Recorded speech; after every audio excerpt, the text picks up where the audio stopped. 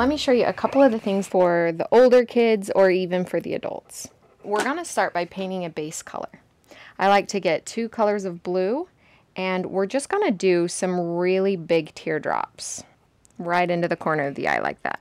Next, we're to get some red and some pink. I'm still using my half inch filbert. And we're to do the same that we just did only from the other direction.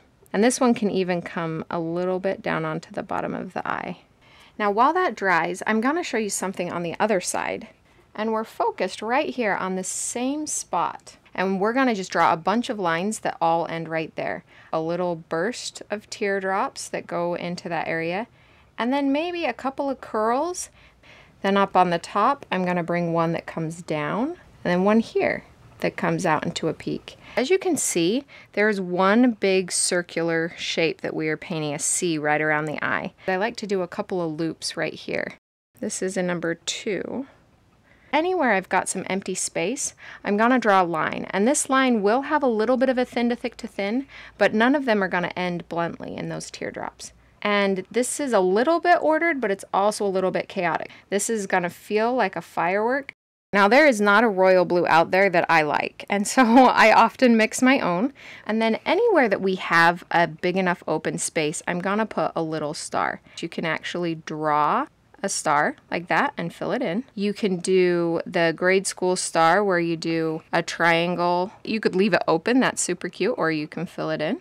Or the way that I typically go about it is I just do the five flicks and then I just kind of thicken the points down towards the middle. Nature comes in odd numbers. I've got three, so I'm just going to add two smaller ones to keep it odd, but add a little variation. Once I have my firework down, I like to just see where does it need a little something extra. And I think we need a few little dots right there. Let's add just one of the other kinds of stars in the white to let it be fun. And sometimes I even do this design all in white just because I feel like it's so pretty. Over here, everything is existing in the same level. There might be a few overlaps, but it's all right there together. What we're trying to do on this side is we've created a background and now we're going to put something in the foreground and just create that cluster there. And then from that cluster, we can bring down a swirl, bring up a teardrop, bring another swirl down here. We can bring another one down and out like we did on the other side. There's a pocket there we can do a couple little loops into. And then anytime you have these little teardrops that you've done, you can come in and do a little background, add in some of our little stars, some little dots. I'm to just go ahead and shadow a few of these.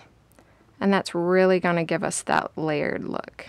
And we can even use that dark blue down on the bottom half. I like to pick the color of sparkle that matches the background and just kind of tap it in there. I'm going to use a pink instead of a red.